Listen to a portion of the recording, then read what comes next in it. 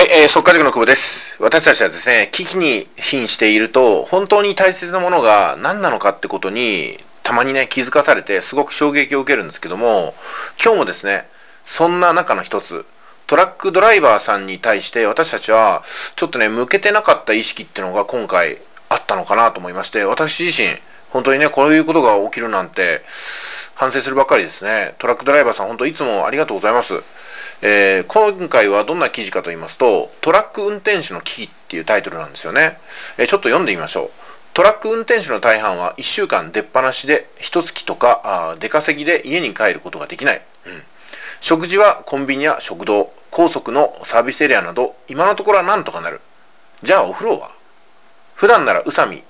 エネフリ、ウィングなど全国展開しているガソリンスタンドでシャワーを借りている。ああ、そうなんですね。トラック運転手が清潔に健康を保てているのは、こういったスタンドの行為でシャワーを利用できるからです。しかし、今回の感染症の猛威が全国に拡大している今、シャワーの利用を中止するスタンドが続出しています。うん今現在、宇佐美、エネフリ、ウカイヤ、ウィングは今週末までとのこと。え日本の物流を支えるトラック運転手が清潔を保てず、コロナ感染でもすれば日本の物流は崩壊します。確かにそうですね。ということは、スーパーやコンビニから食材が消えるということです。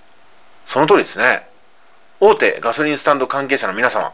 国民の生活を守るために、今一度シャワー利用を再検討していただけないでしょうか。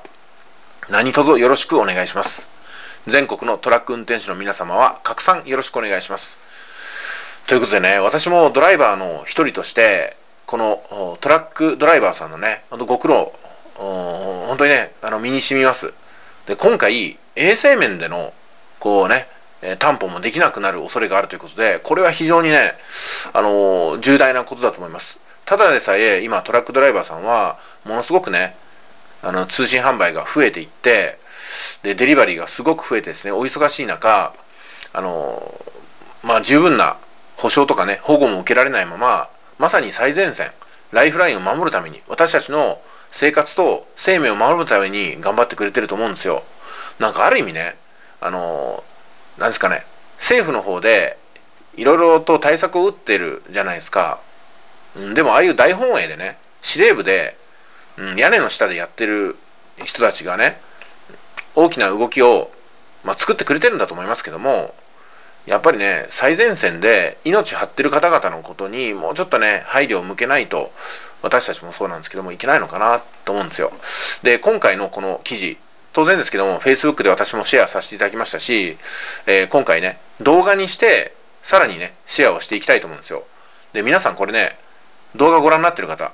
自分には無関係ってことはありません。えーですんでね、この動画の URL リンクを、あの、ぜひね、あっちこっちにシェアしてもらいたいんですよ。いやいや、私のね、動画のアクセスが欲しいっていう、そんなケチな領分ではないんですよね。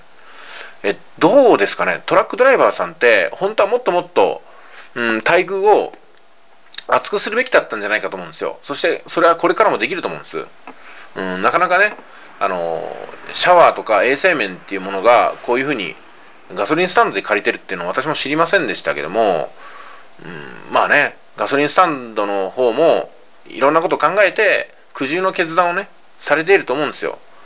でもこれはね、じゃあ、トラックドライバーさんが、狭い路地を行ってね、あのーまあ、シティホテルとかに、シャワー借りに行くのかって言ったらそれも難しいですし、ネカフェでシャワー借りるのかっていうのもそういうのもね、なかなか手間がかかりますしね。やっぱりここはスタンドの方に、うん、引き続きね、お願いするしかないのかなと思うんですよ。もしね、私の勝手な考えですけども、それに対するコストがかかるってことでしたら、ぜひね、ガソリンスタンドの、そのガソリン料金かなんかにね、なんかこう、募金を募るとかでもいいんで、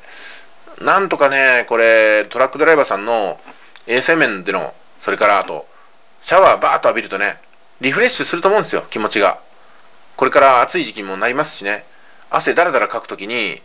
シャワーをね、浴びさせていただくっていうのは、本当にいろんな意味で、あの、トラックドライバーさん、頑張れると思うんですよ。うん、そういうのも込みで、ちょっとみんなでこの運動をね、大きくしていきたいと思うんですよね。うん、まあ、基金をね、募ったりとかもできると思いますし、あとね、えー国土交通省の管轄ですかね、これ。こういうことを無視しちゃいけないですよ、やっぱり。えーできればね、えー、予算委員会の方でも補正予算をね、さらにここにドカンと投入していただきたいなと思います。皆さんからのね、あの、ご意見もお待ちしておりますけども、あとね、ちょっとプラスアルファなんですけども、コンビニのトイレとかもなんか全国で使えなくなってくるような噂を聞いたんですけども、うん、確かに理にかなってるなと思うんですけども、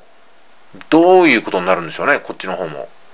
本当に私たちは普段何気なく当たり前のように使ってたサービスとか、え人のね、働きってものが、今回何が大切で何がそれほど必要でなかったのかってことを突きつけられたんじゃないかなと思うんですよ。ということでね、えー、今日もトラック走ってくださってる方、本当にお疲れ様です。まあ、安全運転でね、そして命は一つしかありませんから、ぜひご自身の命を守るために、それを一番にしてください。えー、それでは以上です。